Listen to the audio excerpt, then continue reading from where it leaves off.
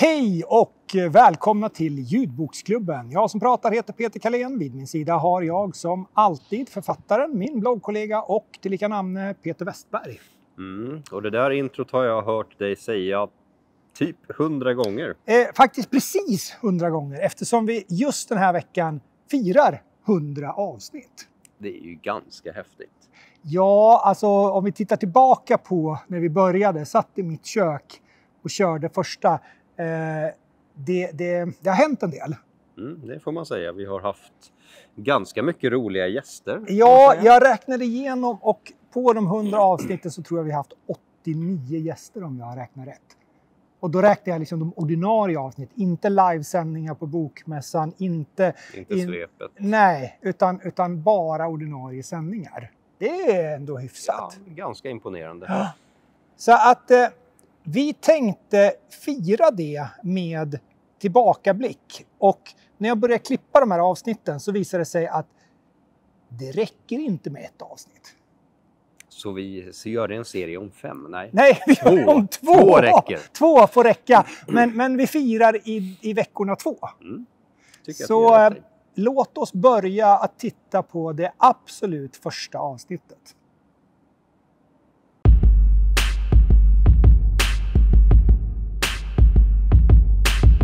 Hej och eh, välkomna till eh, Ljudboksklubbens allra första möte. Jag heter eh, Peter Kalén.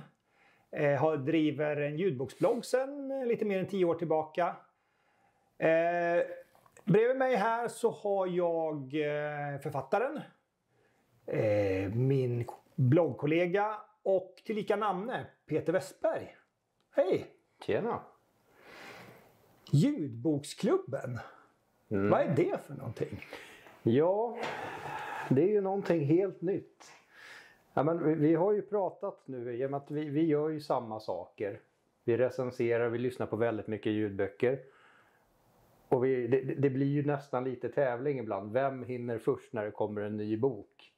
Så att nu kände vi helt enkelt att ja, men vi kan väl slå våra påsar ihop och göra någonting av det här tillsammans. Så att Ljudboksklubben, vi kommer ju helt enkelt att recensera utvalda ljudböcker. Vi kommer ta upp olika ämnen som favoritgenre. Varför tycker vi mer om en viss genre än en annan? Eh, favoritförfattare, favoritinläsare, diverse andra teman som vi kommer på. Och sen är väl tanken också att vi ska bjuda in lite externa gäster också. Och gäst, det bjöd vi in redan i avsnitt två i form av Birgitta Backlund. Veckans gäst är författaren Birgitta Backlund. Hon slog igenom 2010 med sin självbiografiska bok Blondie. Varmt välkommen till ljudboksklubben, Birgitta. Tack Peter och Peter. Äran är helt och hållet på min sida. Jag är jättemallig över att få vara här idag. Det pirrar i hela kroppen. Och så sa min gamla mamma åt mig, skriv ner allting du har inom dig. Och jag grät och jag skrev och jag grät och jag skrev. Sex år tog den där boken. Men för varje år, för varje sida jag skrev så kände jag att det hände någonting inom mig. Och jag älskar människor, män framförallt. Men i mina, i mina böcker tror de att jag är dubbelflata. Ja, att eh, Birgitta tycker om oss, det har vi aldrig tvivlat på. Och vi är väldigt glada att hon blev vår första gäst. Och i avsnitt fyra, då träffade vi den här mannen. Vi är väldigt glada att ha Fredde Granberg här som gäst. Välkommen till ljudboksklubben! Tackar! Hej gubben! Som sagt, man måste ju, man måste ju tänka bort Ronny och Ragge om man ska lyssna. Ja. Det är som, som i, i en spännande deckare. Det, det är liksom, den den Ja, är- måste du liksom koppla bort Ja, innan du börjar. Nu, Sen går stack kniven i alla Så, att- nej, men det, det, det var en av de vanligaste kommentarerna i, när, när, liksom, när, det började bli, när, när det började bli stort. Alltså när jag började läsa när det började bli lite, lite snack om det så där, så då var just en av de vanligaste kommentarerna att folk hade varit tveksamma till att börja, börja lyssna på de böcker jag läste just, Ja. just för Ronny Ja. Men, men, men som sagt, jag tycker, jag tycker att det funkar. Att du har ju en väldigt lugn och behaglig röst. Ja, vad kul. Så här flöt det på under hösten 2022. Vi hade gäster som Jesper Ersgård, Tova Leining, Grimwalkers på länk, Sami Jiridi på länk, tills vi kom fram till den skönsjungande Linda Ståhl.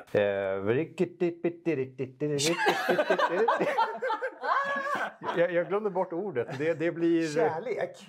Är det ordet? Banne mig. Det bereda verkar kärlek banne mig. Och här har vi en till blooper. Perfekt. Nej, jag tycker inte ens att det är en blooper. Jag tycker Nej. vi kör den. Ja. Ja, jag, jag är ju med. Så vad tycker vi om det här då?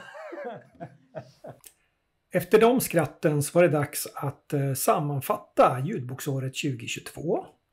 Ha gäster som Cecilia Salström och Ingrid Elfberg. Tills vi kom fram till mannen som inte vet vad en massarin är för någonting. Eh, om, eh, om jag har en massa grejer mellan tänderna så till tittarna så är det för att eh, ni bjöd mig på mina favorithavrebollar här. Det var lite Ja, fint av er. Vi, alltså, när, vi hörde, när vi hörde att du inte åt massarin så var vi så nära att, att vi bokade av. Men eftersom vi är lite tillmötesgående så har vi Hur jävla gamla är ni när ni sitter och käkar massarin? 75 i själen. Ja, vi är två griniga gubbar har vi ju. Verk! Jag tänker att vi, vi måste ju faktiskt ta den där elefanten i rummet. Hur fan kan man inte tycka om massariner? Alltså jag vet inte om jag har smakat massarin, men de ser så... Är, är det de här, är det dammsugare? Är det som är massarin? Nej, vad fan är massarin då? Vi visar en Ja, vi börjar klippa in det här så jag får se vad det är. Det, det låter ju som något som min gammelmormor käkade. Det, det, Hon, hon drack även kaffe från liksom assieten. Hon hällde upp kaffet i assieten och så drack hon det sådär. gör inte. Inte? Ja, och nästa gång du kommer så kommer vi bjuda på bridgeblandning. Ja. Och på tal om det så ska det bli väldigt kul att höra hur du läser in en viss 80-åring snart också. Det låter man när man är gammal. Där är första. Precis. Nej. Ja, jag vet. Jag pratar med förlaget. tror jag. Hon har gjort något jättekonstigt med sin eh, ja, det ska bli väldigt roligt. F- f- avsnittets första hemlighet. Ja. Edda Headshot har alltså fått sin inläsare och det är mitt val.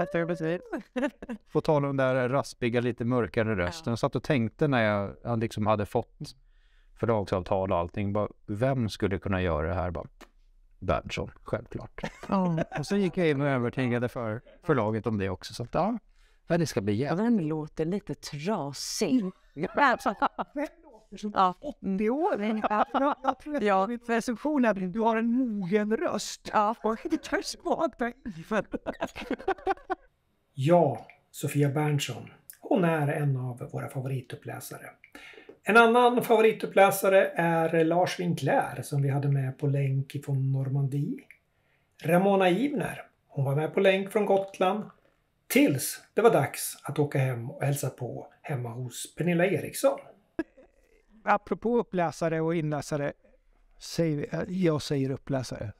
Jag switchar mellan. Ja, strunt samma. Eh, så har, och du har haft ganska många. Du har bytt i, i mitt i serien. Det är ju, Ja, men- det är ju, ett, det är ju ett brott mot... Ja, jag fattade sen att det var... Är, är det, Jag det, blev könhalad. ja, Eh, men det var ju så här, för att jag... ehm, nu tycker jag att Katarina Cohen gjorde ett skitbra jobb. Men jag vill, alltså det var ju Lo som var inspirationen till karaktären. Så när jag kunde få loss henne så typ högg jag henne. Men då, då blev På riktigt alltså. Nej, jag högg henne i kragen och slängde in henne i inläsningsbåset. Nej men, ehm, och sen så, ehm, och då blev det så och då muttrades det. Och sen, fast de, alltså jag tycker så här, liksom, de var snälla ändå. De var jävligt bra bok, men fan att du inte lä- inläsare. ja, och sen så eh, var faktiskt Eva Röse jag liksom lånade lite av hennes utseende och satt och pratade och sen när jag skapade Lille Hed. Hon är liksom lite inspirerad av Eva Röse. Så att jag var så överlycklig över att hon skulle läsa in 300 grader, vilket hon gjorde jättefint. Och så tänkte jag nog också att hon då skulle läsa in Släcka liv, men då var liksom pandemin över och plötsligt hade hon 71 skådisuppdrag och programledaruppdrag och hade inte så mycket tid att läsa in ljudböcker heller. Men då fick jag ju den fenomenala stjärnan Gunilla Leining som är typ allas favoritläsare. Jag tänkte ju så det, Så, att, så att det var ändå en win. Och jag, jag gillar, de två böckerna är så himla olika varandra också. Så på något sätt tyckte jag att de blev ännu mer fristående när det var två olika inläsare. Så jag tyckte faktiskt inte att det var ett problem. Men jag vet att jag, jag jag tar med, jag tar med mig det här. Det är heligt. Man ska inte möta en ny röst. nej, Fan ta er. och du har gjort det två gånger. Kul att sitta här igen. Eh, ja, och det är inte här igen. Nej, här för första gången. Och lite speciellt här idag. Idag sitter vi i en kyrka. Ja, Så att, ehm, ja, tycker att det känns väldigt hemtrevligt. ja riktigt trevligt. Och eh, eftersom det var, jag konstaterade att det var fem eller sex år sedan, så började jag lyssna om den lite grann idag. För att komma i stämning, för att få, för att få de där riktiga, riktiga svordomarna och riktiga... Och nu sitter vi i kyrkan så vi kanske inte ska dra alla dem. Men, men alltså det är, det är ett... eh, Ja, det, är- det, är- det är bonnigt. Det här, ju. alltså det är ju liksom... eh, Jag, jag kommer från en, en, en småstad, Arboga, inte så långt härifrån. Men man kan ju konstatera att Kenny finns ju i alla små städer. Så är det säkert. Det är många som har sagt det som har lärt. Ja, nej men liksom alltså... Man känner igen karaktären. Ja, ja, ja. Och, och skulle man åka tillbaka så finns han nog där fortfarande. Går omkring i sina bod. Är på samma plats Ja, ja, så, så. Och det är ju, det är ju både charmigt men också tragiskt. Precis. Så det, är ju- det är ju den, återigen, den här tonen i bakgrunden att han gör så mycket för att upprätthålla den här fasaden. Alltså det är liksom... Så. Eh, och, och ja, jag tycker, jag, jag är ju så, jag tycker att Ett inslag som vi har haft med lite då och då är veckans favoriter. Där vi har listat saker. Här kommer några utav de listorna vi har haft med. Veckans favoriter är bokkaraktärer som man skulle vilja äta middag med. Jag har försökt krångla till det lite Ja, grann. men jag tycker den var riktigt trevlig faktiskt. Ja, det tycker jag också. Eh, På min lista så har vi Knut från eh, Mordnatt råder. Vi har Hagrid från Harry Potter-böckerna och Kenny Metal Bladqvist från Stay Metal. Vilka hade du på din lista? Ja, jag hade ju då eh, eh, Iris från mina, från mina, eh, från mina, eh, ni, från nio av mina böcker. Eh, och eh, Radar, eh, hunden Radar från, från eh, en saga av Stephen King. Och, eh, och sen då Gunnar Barbarotti, eh, Håkan Nessers kommissarie i den fiktiva staden. Vad är det den heter nu igen? Eh, ja, men det är ju som, den heter ju som... Någonstans eh, nere i Västsverige någonstans. Nej men, ja, men det är ju som eh, spökstationen. Eh, Den heter ju som Ja, Kymlinge, den. det, det stämmer det. Och eh, min lista över eh, bokkaraktärer jag skulle vilja äta middag med är, har jag Barbara Havers, Assad och Hanne Wilhelmsen. I veckans favoriter så ska vi ta oss ut i världen och lista våran topp tre utav utomnordiska författare. Min eh, topp tre med utomnordiska författare blir då Jeffrey Archer, Michael Connolly och David Baldacci. Och min topp tre utomjordiska författare. Stephen King, Andy Weir och Sebastian Fitzek. Ja, jag eh, tar James Elroy, Charles Bukowski och på tredje plats alla de som de sa. Så om du ska sammanfatta dina tre, hur skulle det låta då? Eh, Min topp tre, Lars Wernströms bokserie om privatutredare Erik Sandell. Eh, Sofia Rutbeck Eriksson och Mattias Boströms bokserie om Katarinas eminenta detektivbyrå. Och Jeanette Bergenstavs serie om Jennifer Sundin. Och min topp tre med deckare där huvudpersonen inte är polis blir då Annika Bengtsson utav Lisa Marklund, Sebastian Bergman utav eh, Rosenfeldt och Hjort och Tekla Berg i Christian Unges böcker. Veckans favoriter är helt slumpmässigt eh, favoritagenter. Slumpmässigt. Ja, så, så kan det bli ibland. Här också. Då har jag eh, Sam Milton från eh, Jesper och Patrik Ersgårds Elddopet. Eh, agenten Mac från André Katris Honungsapan och Bente Jensen från Andreas Normans Svart Sol.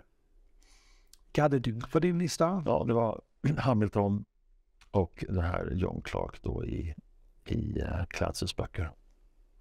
Och på min lista så har vi Carl Hamilton från Geos böcker, Anton Modin från Anders Jalais böcker och Evan Smoke alias Orphan X från Greg Hurwitz böcker.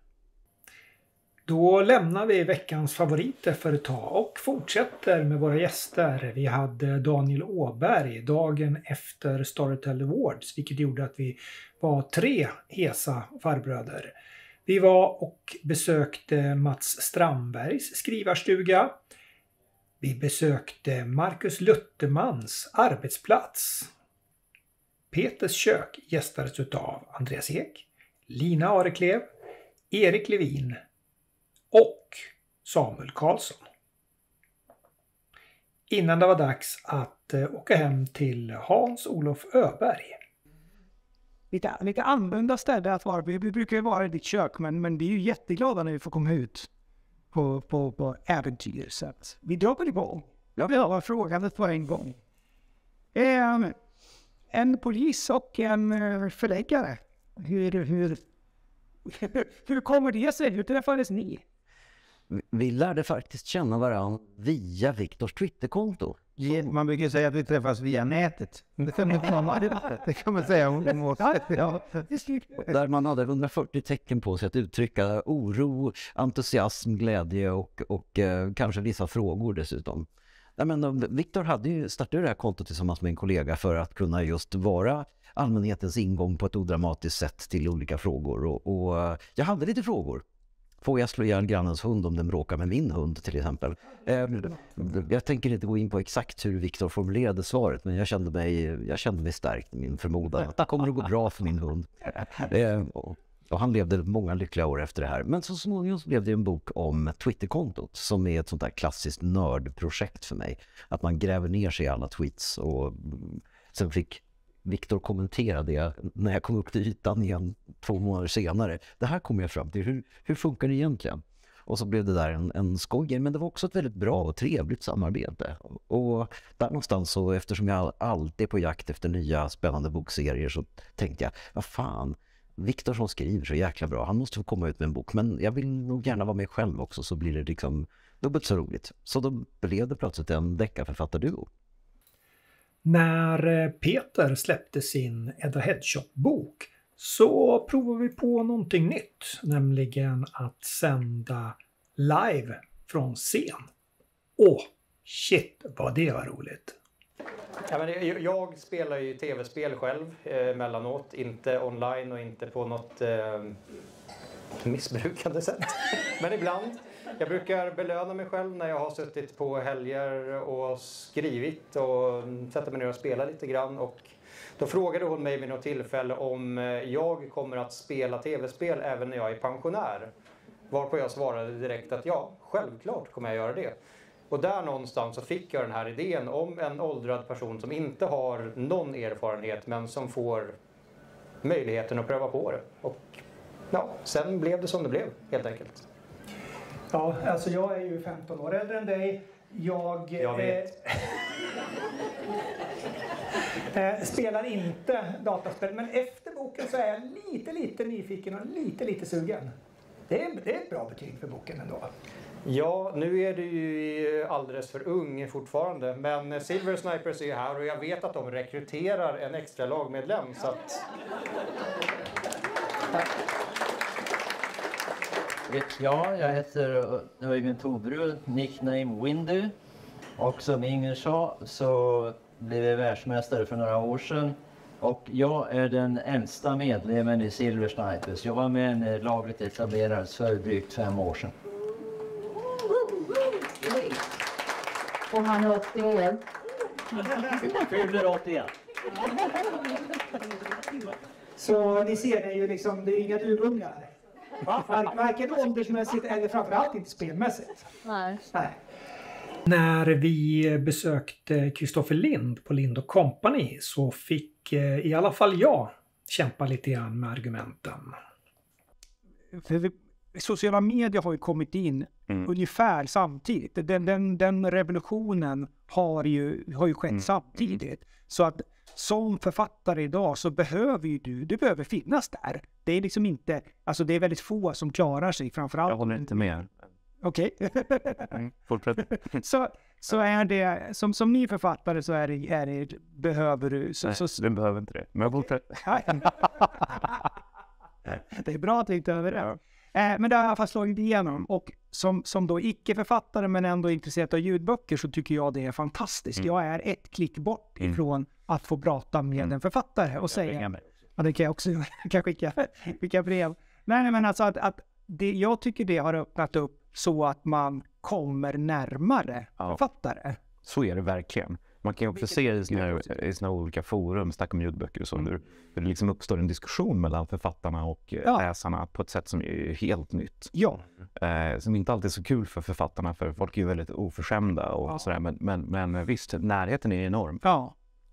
Men jag, men jag håller inte med om, om sociala medier. Nej, för... Nej, men, jag, nej, men det här är, det här är... Många författare blir arga på mig när jag säger det här. Men, men, men eh, tycker att jag är konservativ och negativ och, och, och så. Men jag ser ju bara... Ser, möjligt att bygga en plattform med sociala medier som du kan kapitalisera på som författare. Många tror att det är viktigt, i synnerhet de som debuterar. Och eh, det är ju väldigt få författare som har den plattformen. Eh, Jag skulle säga att många av de största författarna har den inte. Nej. Utan det som, är, det som är viktigt är ju liksom hur boken hamnar i, de, i streamingtjänsterna. Hur den kureras, hur den lyfts fram och hur, vad den får för recensioner där. Och hur, liksom, hur den hamnar i flödet där. Mm. Och du kan vara nästan okänd och ändå liksom komma, komma fram bra som, som författare. Och du kan ha en enorm plattform men ändå inte nå ut. Eh, nej men... eh, Efter diskussionen om sociala media så var det dags att gästas utav eh, Johan Brännström. Och därefter den förtjusande Jenny Rogneby. Sen hade vi ett avsnitt med fyra stycken Peter. Innan vi åkte hem och satte oss i Gunilla Leinings trädgård. 14, 15 eller någonting, eller kanske var tidigare. Ja, där jag, en, en gammal eh, tv-kollega, producentkollega som skulle göra en informationsfilm och bad mig om hjälp med manus och, och spik, att vara speaker och sådär. Så då gjorde jag det. Och då när vi skulle sätta spiken eh, ordentligt så var vi på en, en produktionsbolag, då, Visuellt ljud. Och då gjorde de eh, ljudböcker på CD var det ju då och eh, mest. Och då mm, så läste jag, så frågade de om ja, kan, man, kan vi anlita dig till något annat eller till liksom egna grejer här? Ja visst. Och då, men då var det mest faktaböcker eftersom jag hade läst mycket faktatexter och så, eller jag som journalist då. Men sen så sa de, ska vi inte testa eh, roman? Liksom, en, jo, kan vi göra. Sen, så, ja, det var jättekul tyckte jag. Och liksom få vara lite karaktär och sådär. Nej, men och sen så rullade det liksom på. Så började jag få jobb och började få förlag som hörde av sig och mer och mer och mer. Så i början då så när Storytel hade kommentarer, nu har de tagit tillbaka det igen, de tog ju bort det ett tag, men då tog jag över em, Outlander av en annan inläsare. Och då jobbade jag samtidigt med tv-produktion och så hade jag ju jättemycket att göra. Och så satte jag mig på cykeln, cyklade till studion och så läste jag, jävlar jag måste hinna. Ja, så, så då var det så här, jo men hon, hon har en jättefin röst, jättebra så här, och ta över efter en annan. Men det går ju väldigt fort. Och det där har jag haft med mig sedan dess faktiskt. Eh, att jag tänkte på att ta det lugnt. Eh, att, och, och sen dess så blev det mer att jag kunde stressa dit och sen hamnade jag i ett flow. Jag hamnar liksom väldigt så här, mindful här och nu när jag läser in. Eh, så att det, det, var ju, det var ju bra att hon hade, eller den här personen hade skrivit det där då, för jag tänkte ju på det. Under sommaren 2023 så hade vi med oss Tony Fischer på länk. Följt utav tre stycken författarpar på rad. Först ut Adamsson Lövgren. Därefter Kalin och Schwarz. För att sen avsluta med debutanterna Hjort och Ljung. Och nu ska en helt vanlig familj kunna ses på Netflix till hösten. En liten, måste ju kännas som en liten milstolpe. Om, jag vet inte om det är liksom drömmen, för jag tror att det är ganska många författare som... som Typ alla. Först är det väl liksom att bli utgiven i utlandet och sen är det att bli filmatiserad. Det är väl liksom någonstans där. Ja, jo men det... För det, det är liksom, man hör ju, det är så många, så vanligt liksom att man blir kontaktad med från filmbolag och sådär som eventuellt är intresserade. Sen mynnar det liksom inte ut i någonting. Men nu är det liksom... Ja, Nej, det, det har jag varit tydlig med. Vi ska aldrig, vi ska aldrig gå ut med någonting förrän det är filmat. Eh, för att de flesta filmprojekt blir ju aldrig Ja. Och det- det här har ju, alltså rättigheterna såldes ju för, innan boken ens kom ut. Så att det är ju fem år som vi har hållit på med den här processen. Till sist nu så... Det får ju nästan anses vara lite snabbt. Alltså det kan ju ta 10-20 år i värsta fall. Så. Ja. Det, det är ju det positiva med streamingtjänster. Att de, har, Mm. de har ju fått upp tempot lite. På Ja, men det är inte så. Netflix har väl typ något år från att de liksom har tagit rättigheterna på allvar och börjat skriva till att det ska komma ut i Ja. princip. Det var ju det var inte Netflix var inte inkopplade från början utan de har ju bara varit inkopplade i de senaste, vad blir det, två, tre åren. Så Mm. att, eh, när, de, när de blev, eh, tog över liksom så från och med då så har det gått snabbt. Temat för dagens samtal är svenska ljudboksälskares passioner och frustrationer. Välkommen säger vi till Niklas Jonsson. Tack så mycket. Kul att vara här. Kul att vara här. Men som sagt, du har skrivit en masteruppsats om ljudböcker. Precis. Berätta om den. För det är ju, är ju... Ja, nej men eh, det här med ljudböcker har ju verkligen exploderat de senaste åren och, och i och med strömningstjänsternas framväxt. Och det som är spännande är dels att så många människor verkligen lyssnar på ljudböcker, men också har det varit en, en väldigt animerad debatt om ljudboken. Och, och mycket har ju handlat om ljudbokens far, att det är en fara för litteraturen, att det bara är genrelitteratur som deckare och feelgood och romance som, som lyssnas på och så vidare. Att det är döden för litteraturen som någon debattör skrev och så vidare. Och det som fascinerade mig var att som kommandes lite utifrån den här branschen, att egentligen så handlar det om en bransch som digitaliseras. Och att det på något sätt har hänt i alla branscher. Tvärtom är bokbranschen kanske senare ute än många andra branscher. Och att det betyder en förändring.